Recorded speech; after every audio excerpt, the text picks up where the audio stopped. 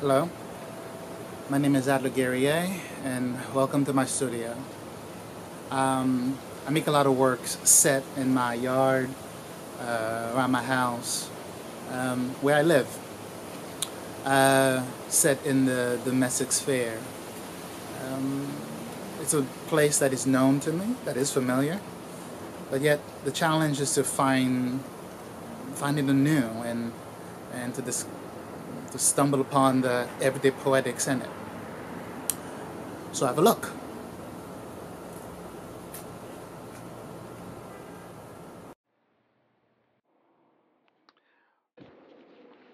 In the show Happy, I have five works working together to support the proposal, at least the idea that to be at ease in one's space um,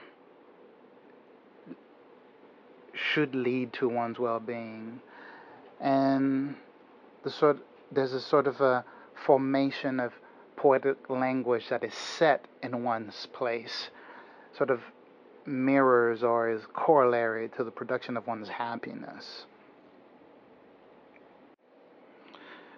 The um, in these five photographs, the earliest work is from the series Verdant Salon, that where I've first begun to explore um, the setting of my backyard as um, a stage for production, as a place where I will try to create work that itself communicate um, that sort of elasticity, um, making work in a confined and define and predefine um, space, um, a backyard within a suburban neighborhood, and trying to f- treat that particular place as being an infinite landscape of many or multiple possibilities to be discovered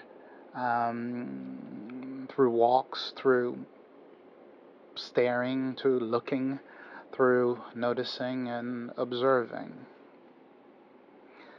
I continued such works in multiple places that I've lived over the years. Um, and these same notions have only expanded to uh, to take on even more utopian ideas that I that I think is necessary in creating the sort of sweetness that is um, in the place that I live. There is a line by Rilke that says something to the effect that if your everyday life seems poor, to blame yourself.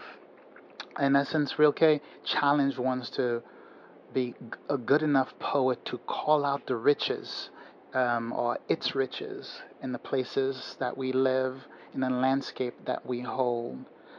And uh, that has been a kind of challenge within for me within the practice. And not every place on this planet is will be, or for that for the for that matter, not every nook and uh, layer or piece leaf or tree or bush or flower is truly noteworthy, but one still has to contemplate it, one still has to look at it, one still has to focus and reframe it in order to find whatever rich riches or richness it may hold. Um, and that is my practice, and that is what I do um, every day, and I continue to do. Thank you.